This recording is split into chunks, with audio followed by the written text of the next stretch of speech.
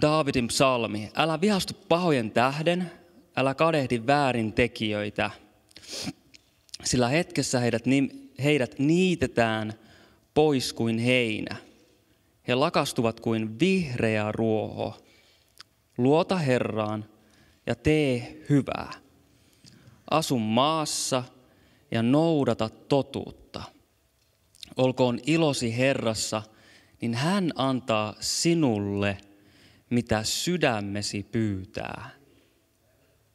Anna tiesi Herran haltuun ja luota häneen, niin hän sen tekee. Hän tuo esiin vanhurskautesi kuin valon ja oikeutesi kuin keskipäivän. Hiljenny Herran edessä ja odota häntä. Älä vihastu siihen, joka menestyy tiellään, miehen, joka juonia punoo. Jätä pois viha ja hylkää kiukku. Älä kanna kaunaa, se on vain pahaksi. Sillä pahat hävitetään, mutta ne, jotka Herraa odottavat, perivät maan. Vielä vähän aikaa, niin jumalatonta ei enää ole.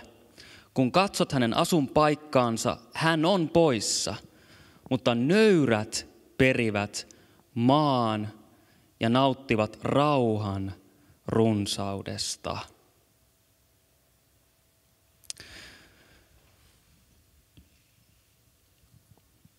Siunataan yhdessä tämä meidän iltapäivätilaisuus. Herra, me kiitämme, että saadaan tulla yhteen kokoontumaan Jeesus sinun nimessäsi. Herra, kiitos, että me saamme tulla totuuden ääreen. Isä, mä tällä hetkellä kiitän niistä semmoisista totuuden ajatuksista, jotka poistaa jokaisen valheellisen ajatuksen.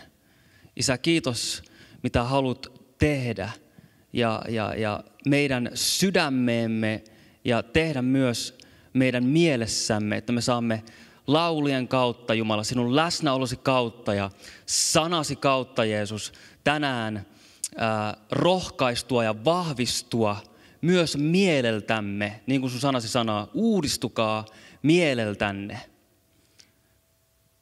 Herra, puhu meille ja tuo totuutta niin, että saamme rohkaisua ja rohkaistua Jeesus sinun sanastasi ja sinun totuudestasi. Herra, me siunaamme sinun sanasi tänään.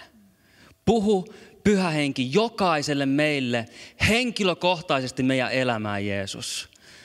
Puhu niihin asioihin ja tilanteisiin, missä me, me tarvitsemme, että Herra, puhu tuohon tilanteeseen. Herra, anna, anna meidän kuulla, Isä, sun ääni tossa asiassa. Joten Isä, tätä me pyydetään ja me haluamme ottaa vastaan, Isä, sen, mitä sinä haluat meille puhua. Isä, sinun sydämeltä, sinun rakastavalta sydämeltä, Jeesus. Siunaa jokaista katsojaa netin ääressä ja siellä television ääressä. Siunaa jokaista. Kiitos Pyhä Henki sinun todellisuudesta ja läsnäolostasi meidän keskellä. Siunaa meitä.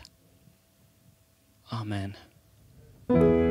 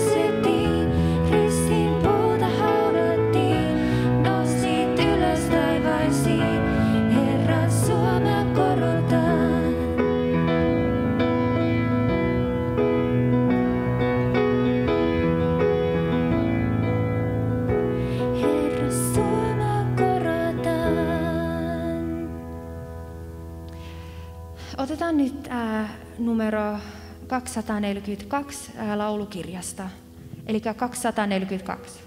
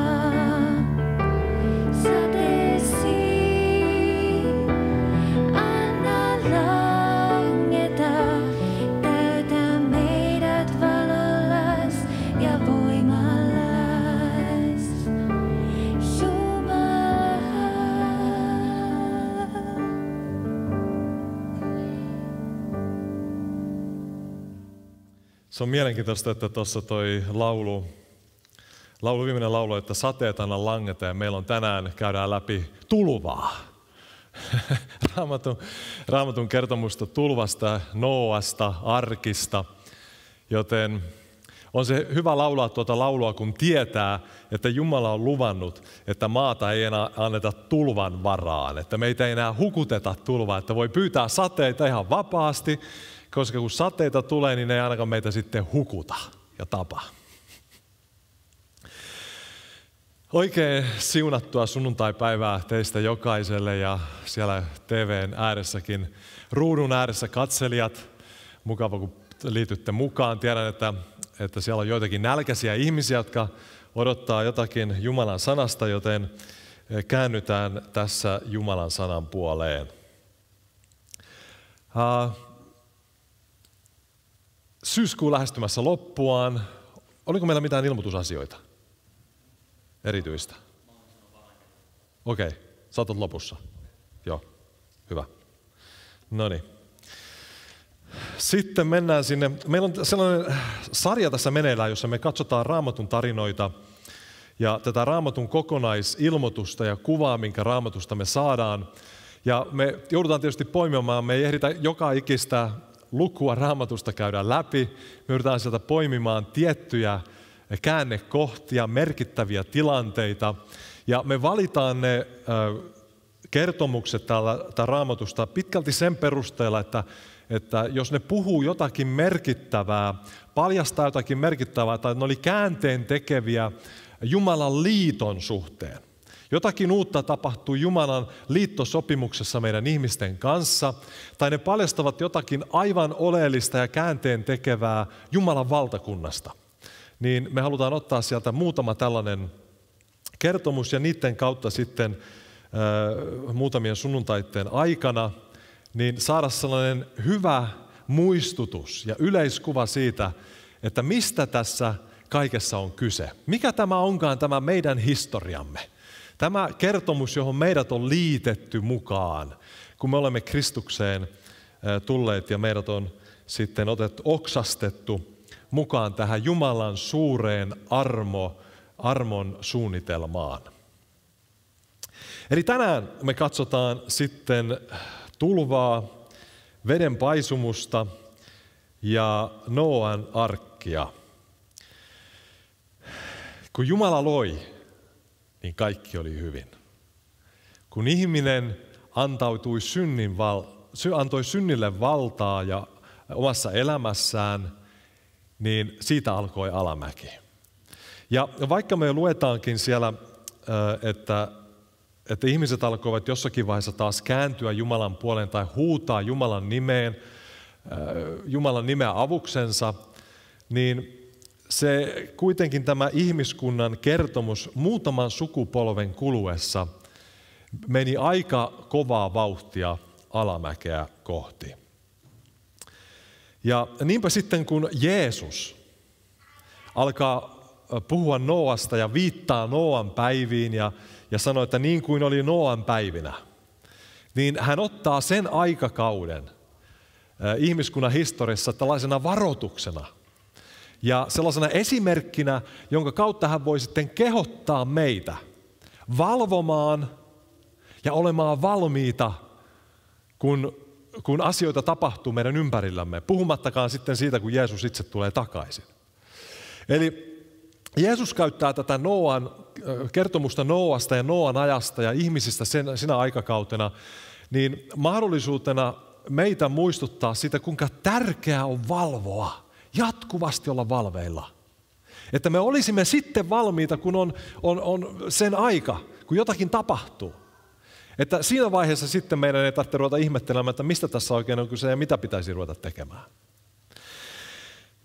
Kun me katsotaan Noaa, niin hän oli sukupolvensa keskellä ainoa ihminen, josta Juma, jossa Jumala näki, että tässä on vanhurskas, hurskas, Jumalaa pelkäävä ja sanotaan jopa nuhteeton mies.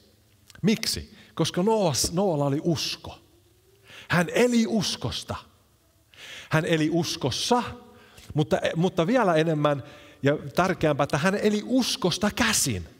Hän eli elämänsä uskosta Jumalaan. Ja koska hän eli uskosta käsin, niin se luettiin hänelle vanhurskaudeksi, ja hän oli Jumalan silmissä vanhurskas, hurskas mies, jolle Jumala saattoi uskoa sitten asioita. Ja niinpä, koska Noa valitsi elää uskosta käsin, niin hän eli valveutunutta elämää. Hän oli valveilla ja kun tuli sitten se hälytyshuuto, että seitsemän päivän kuluttua. Ajatelkaa, vuosikymmeniä mennyt. Siinä olisi moni meistä jo väsähtänyt ja kypsynyt ja lannistunut ja, ja jollakin tavalla niin kuin alkanut elää vaan sellaista mukavaa elämää ja ajatella, että no kyllä, kyllä sitä sitten kun tota, aika tulee, niin ollaan valmiita. Ei, Noa jatkuvasti eli uskosta käsin. Päivittäin kulki Jumalan seurassa. Kulki Jumalan, siellä sanotaan, että hän kulki Jumalan seurassa, kulki Jumalan kanssa. Vähän niin kuin Eenokista puhutaan. Ja, ja, ja, ja koska hän eli uskosta käsin, niin kun sitten tuli tämä hälytys, että seitsemän päivän kuluttua, niin hän oli valmis välittömästi. Hän tiesi, mitä pitää tehdä, miten pitää toimia, ja hän oli valmis kuulemaan ja olemaan kuulijainen Jumalan sanalle. Koska Noa eli uskosta käsin, niin hän, oli, hän, hän pystyi ottamaan vastaan niin nuhtelun kuin varoituksen yhtä lailla kuin rohkaisun ja lupauksen sanat Jumalalta. Hän ei valikoinut ja ottanut sitä, mikä tuntui mieluisimmalta ja parhaalta, vaan koska hän oli päättänyt ja valinnut elää uskosta käsin, niin hän kykeni kuulemaan, kun Jumala antoi varoituksen sanan tulevasta tuhosta, yhtä lailla kuin hän kykeni tarttumaan lupaukseen tulevasta pelastuksesta. Kaiken hän pystyi kuulemaan, koska Noa eli uskosta käsin. Toisin oli muiden laita Noan päivinä. Siellä sanotaan, että ihmiset eivät tienneet tai eivät aavistaneet mitään, kunnes oli liian myöhäistä. Vesi tuli ja vei kaikki mukanaan. Eli tätä taustaa vasten Noa oikein nousee sellaiseen, eh, sellaiseksi niin kuin malliksi meille, mitä on elää uskosta käsin. Koska kukaan muu ei tiennyt.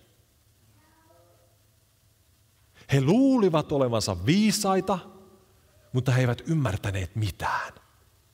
He luulivat tietävänsä kaiken näköistä, kaikesta, mutta oikeasti he eivät, he eivät ymmärtäneet mitään niistä asioista, joilla todellisuudessa oli merkitystä. Koska he eivät valinneet uskoa, he eivät eläneet uskosta käsin. Ja niinpä Noa, koska hän eli uskosta käsin, niin hän kykeni olemaan kestävä – hän kykeni kuulemaan ja hän kykeni olemaan kuulijainen. Ajatelkaa, että Noa puhui Jumalan sanaa, saarnasi, oli tällainen vanhurskauden julistaja.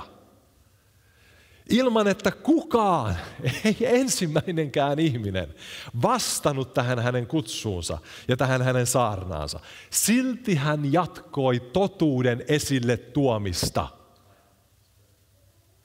Jumala haluaa, että vaikka kukaan ei kuulisi, niin me silti tuomme esille totuutta Kristuksesta, Jeesuksesta ja hänessä olevasta pelastuksesta.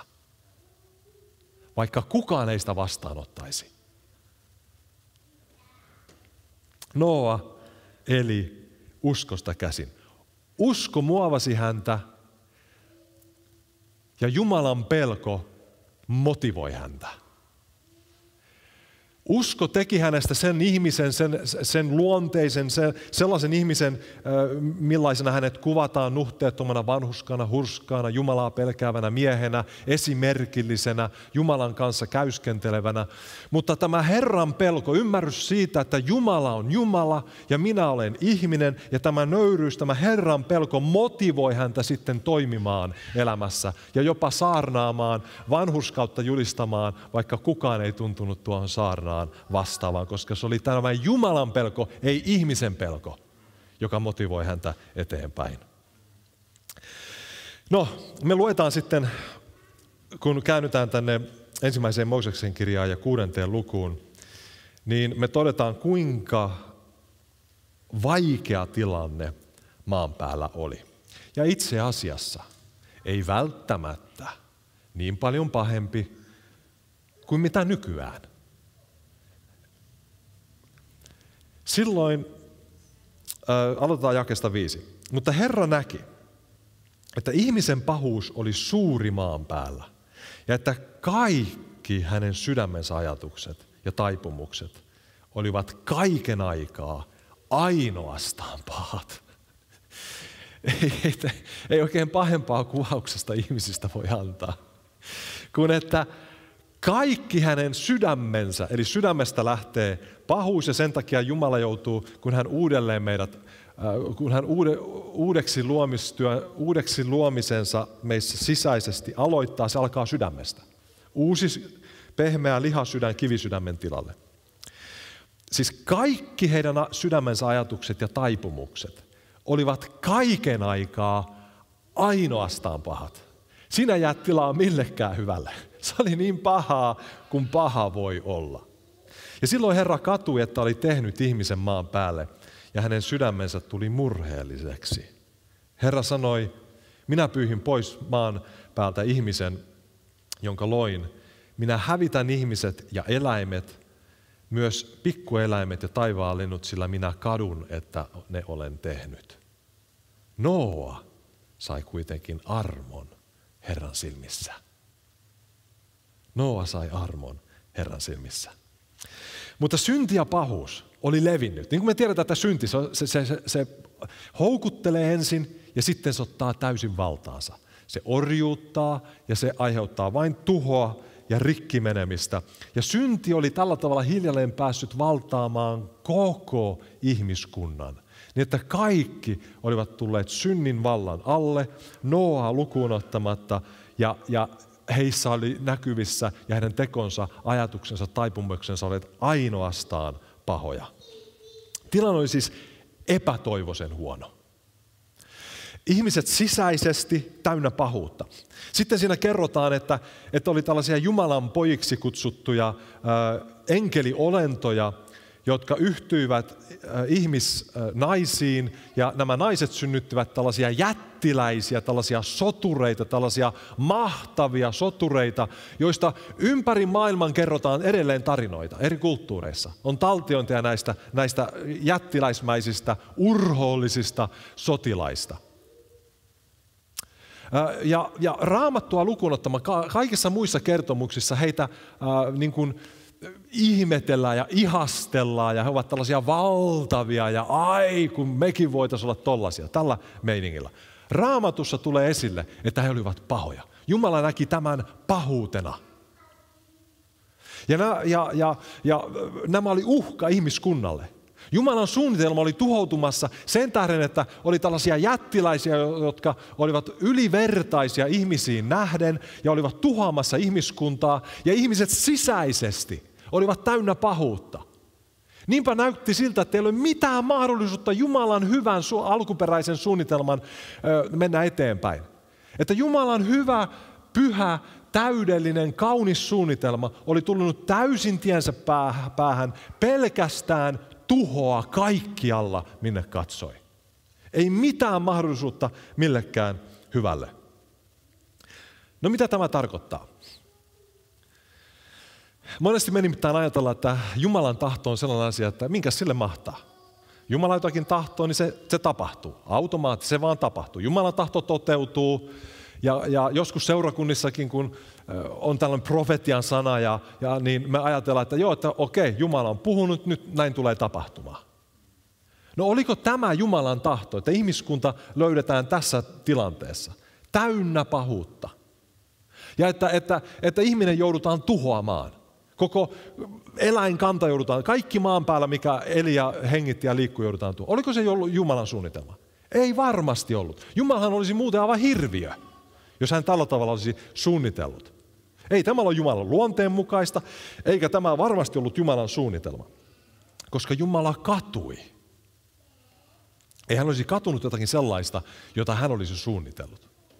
Joten mistä on kyse? On kyse siitä, että meillä ihmisillä on itse asiassa aika paljon sanomisen vapautta ja valtaa. Me voidaan valita. Meillä on annettu vapaa tahto.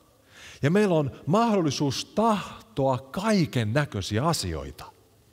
Ja kun me tahdotaan asioita, jotka ovat Jumalan mielen vastaisia, meillä on vapaa, vapaus valita tehdä näin.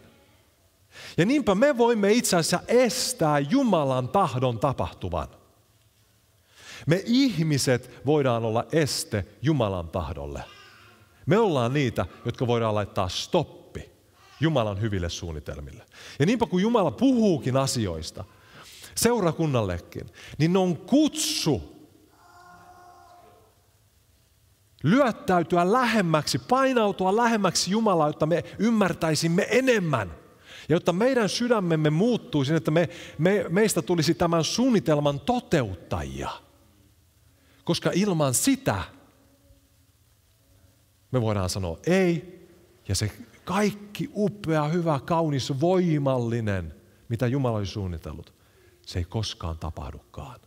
Ja sitten mä ajattelen, että no, ei se vissiin ollut Jumala. Kyllä se oli Jumala. Aivan varmasti oli Jumala, koska se oli hyvä suunnitelma. Sen seurauksena ihmisiä olisi pelastunut. Ihmisiä olisi parantunut. Ihmisiä olisi siirtynyt ikuisuuteen ja valoon ja, ja, ja totuuteen. Kristuksen, Kristukseen. Mutta me voimme estää, se on, se on, se on, se on vaarallinen ajatus, ei kookki. Laittaa sellaiselle aralle, nöyrälle paikalle Jumalan edessä. Kun katsotaan tätä tuomiota, tätä verenpaisumusta, ja näitä luettiin nämä jakeet, niin me huomataan, että kun Jumala langettaa tuomion ihmiskunnan ylle, synnin ylle, synnin ylle, niin sen takana on murheellinen Jumala. Ei sellainen kostonhimoinen tai, tai vihainen tai suuttumuksesta palava Jumala. Ei vaan Jumala, jonka sydän on murtunut. Jumala, jonka sydän kärsii. Että ihmiset ovat valinneet synnin hänen sijaansa. Ja niinpä sanotaan, että Jumala oli murheellinen. Murheellinen. Ja kun me katsotaan tätä, niin tämä on itse asiassa, tämä pitää yhtä sen kuvan kanssa, jonka Jeesus näyttää Jumalasta. Jos Jeesuksessa me nähdään Jumala kirkastettuna, täydellisesti sellaisena kuin Jumala on, hänen luonteensa ja luontonsa, olemuksensa, Kristuksessa näyttäytyy täydellisenä niin ajatellaanpa tilannetta, jossa Jeesus ratsastaa Jerusalemiin. Ja Jeesus on lähestymässä Jerusalemia. Ja yhtäkkiä hän näkee, mitä tätä kaupunkia odottaa. Kuinka tuomio lymyää tämän kaupungin yllä. Ihmiset ovat valinneet mennä omia teitään, olla vastaamatta Jumalan armolliseen kutsuun, olla ottamatta vastaan Jeesusta ja sitä sanomaa ja pelastusta, joka hänessä löytyy. Ja niinpä, kun Jeesus ratsastaa ja hän näkee sen tuomio, joka tämän, tätä kaupunkia on odottamassa, joka, joka tätä kaupunkia Jerusalemia tulee kohtaamaan, niin sanotaan, että Jeesus itki. Ja se ei ollut vaan sellaista nyhkyttämistä, vaan te tiedätte, kun itkiä naiset itkee – ja se on sellaista niin kuin, tuolta oikein syvältä nousevaa, äh, sellaista niin kuin kouristelevaa, oikein sellaista, sellaista niin kuin, äh, sellaista padon, aivan kuin padot purkautuisivat, sellaista, sellaista niin kuin huutoa. Tällä tavalla kuvataan sitä Jeesuksen itkemistä tuon kaupungin kohtalon tähden. Ja tämä paljastaa meille, mitä Jumala ajattelee ja minkälainen sydän Jumalalla on, jopa silloinkin, kun hän joutuu antamaan tuomion kohdata synti. Koska kun me katsotaan, mitä Jumalan tuomio, tällainen jumalallinen tuomio on olemukseltaan, ytimeltään, niin näyttäisi siltä, että, että Paavalin tavoin ja vanhassa testamentissa löytyy muitakin, Hosea ja Jeremia ja muita, jotka olivat ymmärtäneet samalla tavalla kuin Paavali sitten kirjoittaa roomalaisille siellä ensimmäisessä luvussa, kun hän kuvaa Jumalan vihaa ja sanoo, että kuinka Jumalan viha ilmestyy taivaasta kaikkia ihmisten jumalattomuutta ja vääryyttä vastaan. Kyllä, kaikkinainen jumalattomuus ja vääryys ko- kohtaa Jumalan vihan. Sitten kun hän alkaa kuvata sitä, että miltä se näyttää, tämä Jumalan viha ja Jumalan tuomio, niin hän sanoo siellä, että sen vuoksi Jumala on jättänyt heidät sydäntensä himoinsa saastaisuuteen, häpäisemään keskenään oman, omat ruumiinsa. Ja pari jaetta myöhemmin, ensimmäistä lukua roomalaisille ja 26, siellä Paavali kirjoittaa, sen tähden Jumala on jättänyt heidät häpeällisten himojen valtaan. Ja pari jaetta eteenpäin jälleen, koska heille ei kelvannut pitää kiinni Jumalan tuntemisesta. Jumala jätti heidät kelvottoman mielen valtaan tekemään sopimattomia. Eli tässä tulee kuva siitä, kuinka Jumalan tuomio on itse asiassa sitä, että hän luovuttaa meidät oman syntisyytemme valtaan. Että se hirvittävin asia oikeastaan, mitä voi tapahtua, on, että, me, että Jumala sanookin meille, kun me sanomme, että ei, että me halutaan olla oma, me haluamme olla itsenäisiä ja me haluamme olla omillamme ja me haluamme tehdä mitä me haluamme, koska me tiedämme aika hyvin kyllä, miten tässä pitää elää.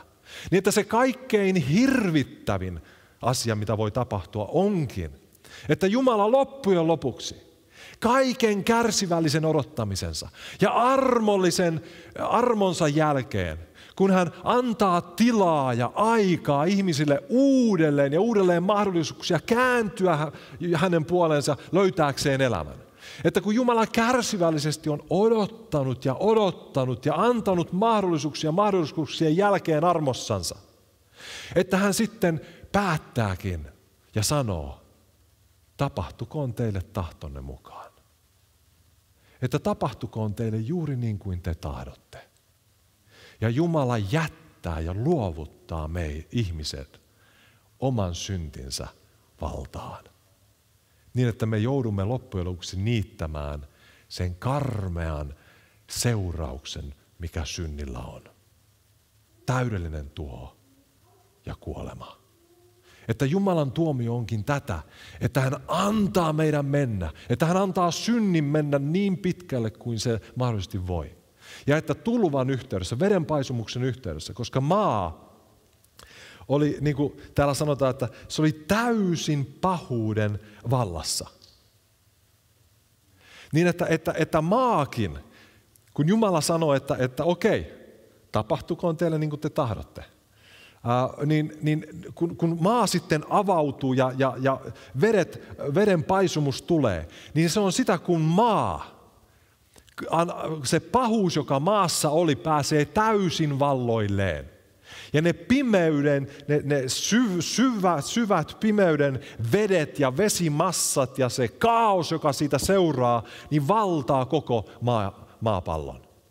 Ja tämä on, tämä on niin kuin havainnollinen, mutta myös todellinen tapahtuma, joka kuvaa sitä, mitä tapahtuu. Kun pahuuden annetaan mennä niin pitkälle kuin mahdollista. Ja Jumala aivan kuin jättää me ihmisen oman pahuutensa valtaan. Hän, niin kuin siellä vanhassa testamentissa puhutaan, että hän kääntää kasvonsa pois. Ja kun Jumala kääntää kasvonsa pois ja luovuttaa ja jättää meidät synnin ja pahuuden valtaan, niin siitä seuraa täydellinen tuho, joka tässä tilanteessa tarkoitti vedenpaisumusta. Se on mielenkiintoista hebrean kielessä itse asiassa. Ei ole erityistä sanaa ää, rangaistukselle. Siellä rangaistus tulee näistä pahuutta kuvaavista muista sanoista. Kuten, että jos joku on paha, niin ää, se, se rangaistus on sitä, että hänen pahuutensa tuo pahuutta hänen ylleen. Eli tässäkin me nähdään, kuinka tämä ihmiskunnan pahuus jopa sitten avasi maa niin, että sieltä uumenista nousi vesi ja täysin vyöryi ihmisten yli ja hukutti heidät sen pahuuden alle. No, Jumalallinen tuomio on siis tällaista ja, ja, ja se niin kuin mun sydämessä, kun mä ajattelen sitä, niin se saa mut entistä nöyremmäksi Jumalan edessä, koska mä ymmärrän vielä kirkkaammin, että jos Jumala antaisi minun mennä pahoilla teilläni, ilman että hänen armonsa ja laupeutensa estäisi sitä pahuutta saavuttamasta täyttä mittaansa – niin voi hirvitys, minkälainen elämä mulla olisi.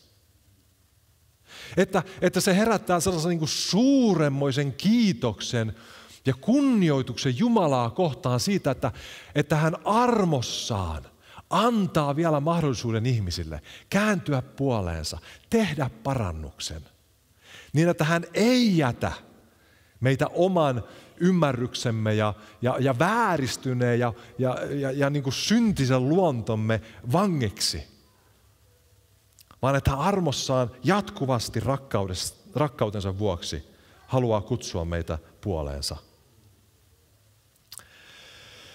No sitten se viimeinen asia tästä kertomuksesta Noasta ja ihmiskunnan turmeluksesta ja vedenpaisumuksesta – siellä luku kahdeksan, joka on tämän tulvan jälkeen, kuvaa sitä aikaa, kun vedet väistyvät ja alkaa uusi armon aika.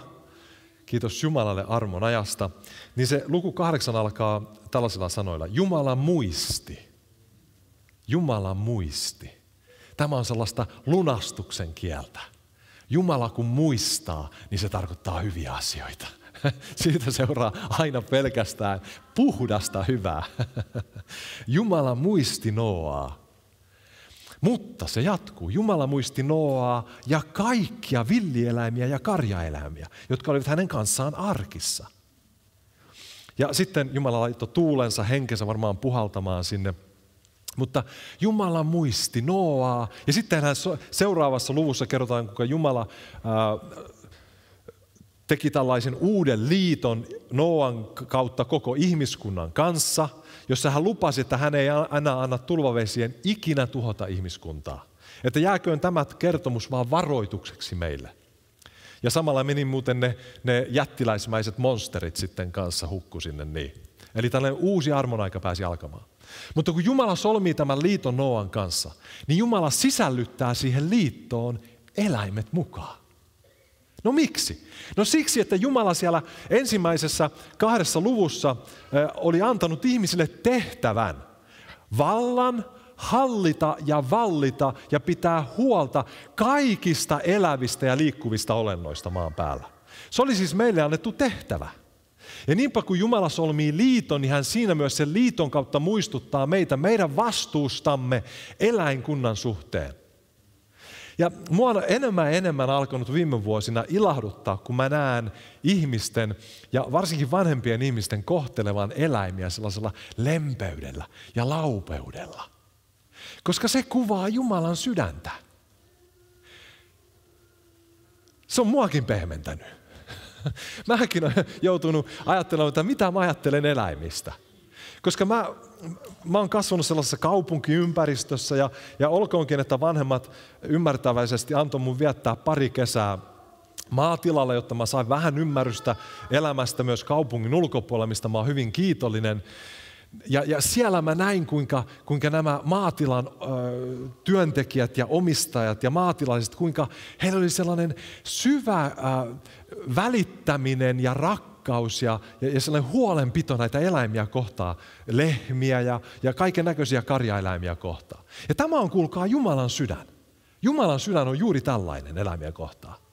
Mutta nykypäivän ihmiset, jotka on kaupungistuneet ja meille eläimet on pelkästään vähän sellainen niin kuin ruoka, tapa saada ruokaa ja me ei oikein välitetä yhtään, että miten se ruoka sinne lautaselle saapuu, vaikka eläimet joutuisi menemään kaiken näköisten kiduttavien, siis aivan kauhistuttavien, kun päässyt joskus katsomaan jotain dokumentteja, kauhistuttavan kiduttavien prosessien läpi laitetaan nämä elukat. Jälleen kerran se kuvaa, kuinka pahuus on saanut meitä otteensa. Että me ei edes eläimistä enää jakseta välittää. Ja, ja häpeällistä sanoa, että me kristityt ollaan pitkälti länsimaissa menty samaan ansaan. Me ollaan unohdettu. Ja sen takia tämä kertomus Noasta ja arkista on niin hyvä. Kun, kun sitä lukee, niin muistat, hetkinen, joo, eläimethän on itse asiassa, ne on annettu meille. Meidän huolehdittavaksi, meidän vallittavaksi ja meidän tehtävänä on pitää niistä huolta, koska Jumalakin välittää eläimistä näin paljon. Joten, jos Jumala välittää eläimistä noin paljon, niin kuinka paljon hän sitten välittääkään ihmisestä, luomakunnan kruunusta. Että Jeesus on valmis menemään ristille –